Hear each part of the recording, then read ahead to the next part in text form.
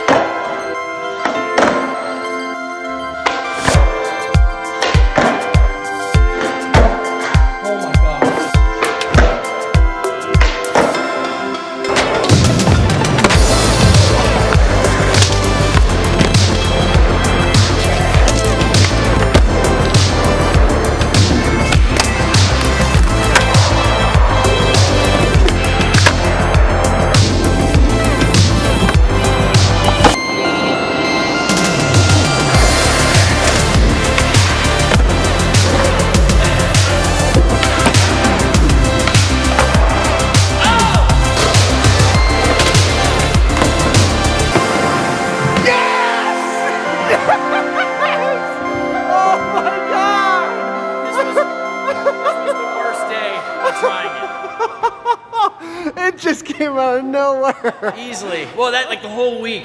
I was just oh. waiting for my feet to get right there. Oh. That was picture perfect. You have three minutes and 46 seconds left.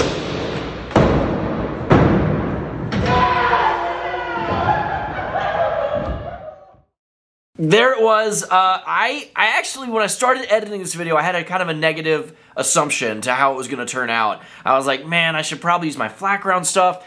And and then when I put it together, I actually liked it a lot. Uh, the only thing that I didn't like about it is that I didn't have time to track down the actual footage of the, the little like blood prank skit and the, the vloggy music is in the background, but I was like, whatever. That being said, uh, it was a very difficult year, and not just because it was 2020. That definitely had a big role to play in it, but as I started the year, I was really out of shape, coming off of uh, being sick and having some injuries, like with my foot and just on and off stuff nothing major. I was just, I went on two trips back before the world like shut down. I went to Texas and I went to Vegas. So there's like kinda some street clips in there. It wasn't good. I didn't do a lot at the beginning of the the, the year, and my plan was just to like really skate and, and get better. And then the pandemic happened, and I, I basically had about 25 minutes a day to do flat ground in my garage. Sometimes I made a ramp but it wasn't too exciting. So that kind of disconnected me from street skateboarding. Then when I started coming back to the warehouse and filming here, I got some clips, but at the same time, my shoulder started hurting a lot. So I eventually took a break from that. And then before my shoulder surgery, which was in September, I decided to say screw it, and I started skating for like two weeks before my shoulder surgery. And then the rest of the year, there was nothing. It's a miracle this exists. In a perfect world, I would have been able to just skate in my skate park because of the pandemic and really practice and hone myself, but that didn't happen. And the whole year was just difficulty and challenge and injury and pain around every corner. Uh, that being said, I can't believe this exists. I'm so happy on how it turned out. I love skateboarding, and this is absolutely, or that was, 2020 was the worst year for skateboarding for me. But if I have something that beautiful to show for it and just look back on, I, I just, I, it makes me so happy because the worst year in skateboarding is the best year of any other life I can imagine. Put that on a shirt if you want. I don't know. Write it. Get a sharpie. Don't actually print it, or do. I don't care. Uh, I love skateboarding so much. Um, I I want to thank my wonderful skateboarding family that we have that and I miss them so much. I you know, I fortunately enough get to work with some genuinely awesome people here, but I have a huge skateboarding family out in California that I haven't seen across the pond over in Europe. Uh, just I, they're they're everywhere and I miss you guys. Um, and assuming that the world slowly starts to heal itself beginning right now uh, I, I, I, cannot wait to go out and have some more skate adventures. Um, and also, spoiler alert, I did say screw it, and I started skating again. I am back. Tomorrow you'll get the whole video of me actually, my first session coming back and putting a board together. Uh, so that'll be fun. Um, I talked to a professional. I didn't. It's not just me, just cowboy Wild West style, living li living a risk. Uh, you know, I'm I'm I'm pretty good. So I'm back. It's just I like to think it's only up from here. Thank you guys so much for watching this. If you want skateboarding gear, I have an online skate shop, theshredquarters.com, where you can get everything you need for skateboarding. But if you have a local shop, especially during these trying times, support them. Support skateboarding in your area. They can always carry our gear. I will say that to the day I stop saying that, which will belong day, until the day I have no voice.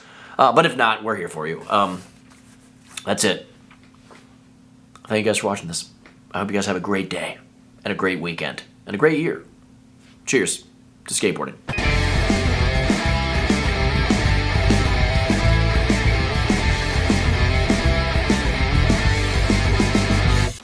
Hey, I'm plugging this. These are the most comfortable masks in the world, and Bill and Ted is awesome. Watch the third movie. Be excellent to each other is something we all need to do every single day of our lives, even if it's not the worst year ever. Peace out.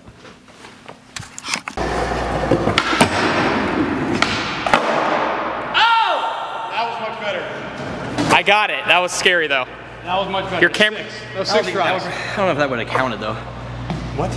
What? What about No, that? I couldn't. That was perfect. I couldn't do Yeah, that. that